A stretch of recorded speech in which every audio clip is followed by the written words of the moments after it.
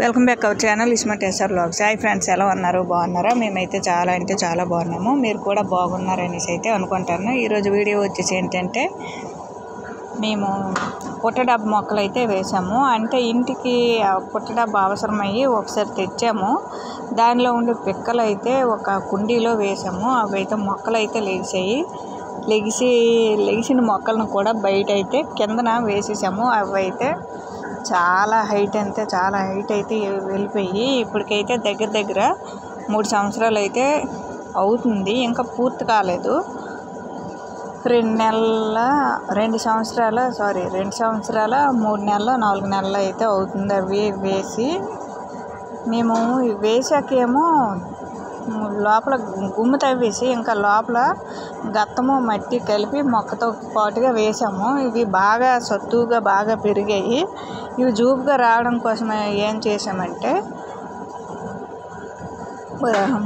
మూడు కటింగ్లు అయితే ఇచ్చాము. చిగురు వస్తుంటే కట్ చేసాము. అలా కట్ చేయడం వలన జూబ్గా అయితే వచ్చింది ఈ చెట్టు అనేది. అమ్మ ముళ్ళు చూడండి ఎలాగుందో.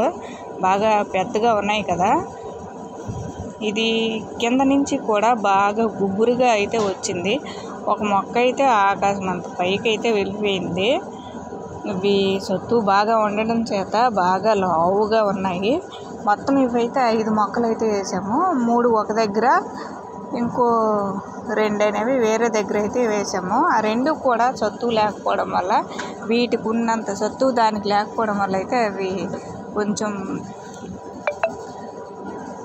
చిన్న మొక్కలు అయితే చిన్నగా ఉన్నాయి ఇంకా అవి పెరగలేదు.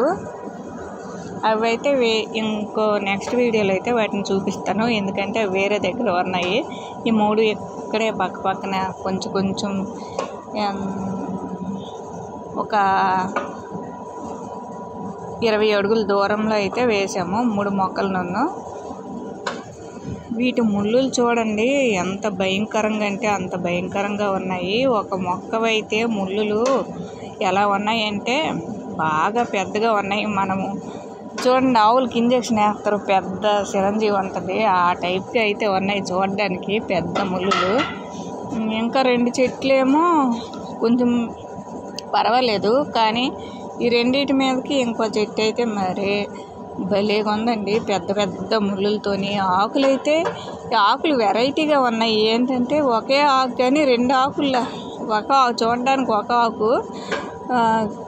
పైన ఒక చిన్న ఆకు కిందన ఒక పెద్ద ఆకులాగా అయితే వచ్చింది. మీకు చూపిస్తాను దగ్గర నుంచి.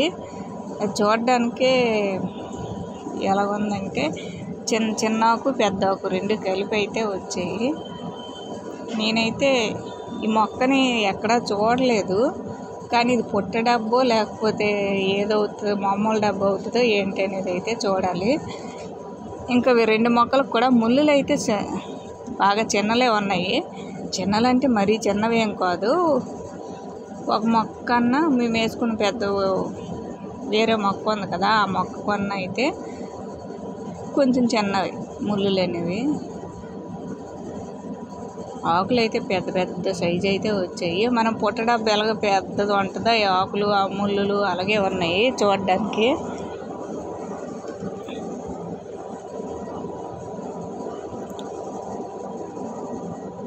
మేము ఇప్పుడు వేసేటప్పుడు ఏం చేసామంటే నిమ్మ పిక్కలు ఈ పుట్ట డబ్బ పిక్కలు మామూలు డబ్బ పిక్కలు అన్నీ కలిసిపోయి అందుకనేసి తేడా అయితే తెలియట్లేదు. కాకపోతే కాకపోతే ఈ ఆకును చూస్తే పుట్ట డబ్బే అనిపిస్తుంది.